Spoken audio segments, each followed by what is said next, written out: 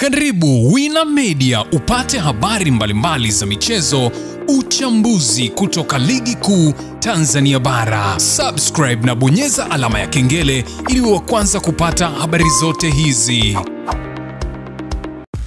Mambo vipi, mdau wa soka? ibana? asante kama tayari umeshabonyeza ano jekundu ambayo liko chini ya video hii iliandikwa neno subscribe, au unakuwa upitwi na taarifa zetu apindi ambapo tunaweka chaneli yetu pendwa kabisa ya Wina Media. Ila kama ni mara yako ya kwanza kabisa unaingia Wina Media, ajua kwamba umepitwa na taarifa nyingi akemkem kibao za kimichezo. Sasa ili usiendelee kupitwa na taarifa zetu, acha kufanya ni kitu rahisi kabisa kwenye simu yako Ah, ni kubonyeza hapo neno jekundu liloandikwa neno subscribe, kisha ukabonyeza na alama ya kengele iliyoko hapo chini pembeni, unakuwa unapata taarifa zetu ah, moja kwa moja kwenye simu yako hapa, sipo kuanza kusearch ah, kuanza kuzitafuta mahala kwingine, ah, zinakuwa zinakufikia ikiwa tu umesubscribe na kubonyeza alama ya kengele. Fanya hivyo sasa hivi ah, kupata taarifa zetu saa 24 popote ulipo duniani zinakuwa zinakufikia bana. Pia unayo nafasi ya kuweza kuandikia hapo chini, unasikiliza taarifa hii kutoka viunga vipi vya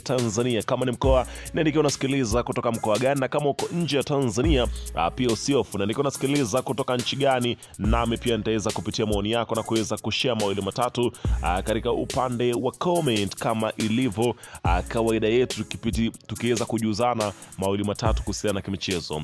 Wewe wanafahamu kuhusiana na ligi ya mabingwa barani Afrika. Hapa nazungumzia klabu bingwa, wengi hupenda kuita hivyo. Ah, unafahamu kwamba ikiendelea kulindima kwa siku hii ya leo, ambapo umekwenda kushuhudia mtanange kati ya klabu ya Dar Young African dhidi ya klabu uh, ya Karne. Hapa nazungumzia uh, Al Ahly, mabingwa uh, mara kadhaa wa kombe hili wakiweza uh, kuongoza katika zile mbio za mabingwa ambao wamechukua kombe hili mara nyingi uh, na pia Al Ahly huwezi kuacha kuitaja. Sasa uh, mtanange ambapo umeweza kuona matokeo, umeweza kuyaona ndio hayo sasa. Uh, watu wengi wakataka kuweza kujua ni nini ambacho uh, kinachoendelea uh, baada ya hapo. Ikumbukwe ya kwamba uh, licha ya matokeo ambayo Yanga ameweza kuyapata kwa siku hii ya leo, bado inamwezesha kuweza kufanikiwa kuweza kutinga katika hatua inayofata. Hapa nazungumzia robo fainali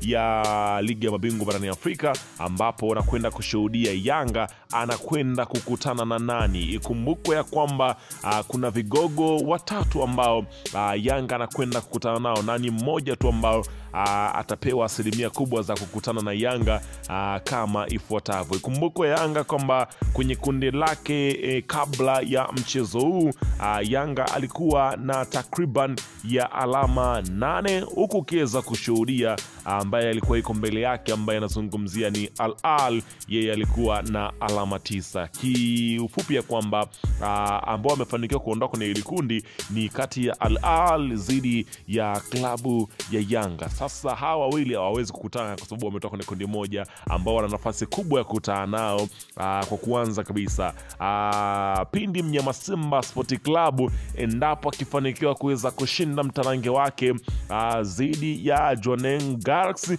uh, basi bila shaka anakwenda kukutana na klabu ya Young African, lakini kama akishindwa uh, kufikia hiko uh, ambacho anazungumzia kigezo cha kuweza kusimama pale uh, nafasi ya pili, kama akiondolewa basi ataweza kukutana naye, lakini uh, kama Yanga uh, uh, kama Simba akishindwa kufanya hivyo uh, basi Yanga ana uwezo mkubwa kabisa wa kukutana dhidi ya Mamelodi Sundowns uh, ya kule uh, nchini Afrika ya Kusini. Nafikiri ndo itakuwa uh, ni mara ya kwanza kwa wawili hao kukutana uh, baada ya nafikiri uh, kwa Yanga baada ya kuweza kufanikiwa kutinga katika hatua ya robo fainali, nafikiri ndio itakuwa ni mara ya kwanza kukutana zaidi ya Mamelodi Sundowns. Uh, kwa hiyo ndio unaambiwa kwamba uh, ndo mpinzani mwingine ambaye anaweza kukutana naye, ama mtu mwingine ambaye kama asipoweza kukutana naye, basi katika ile draw uh, bila shaka huwezi kuacha kumtaja Asec Mimosas. Uh, huyu nazungumzia ambaye ni kinara kwenye kundi ambalo anatoka wekundu wa Msimbazi, Simba Sport Club,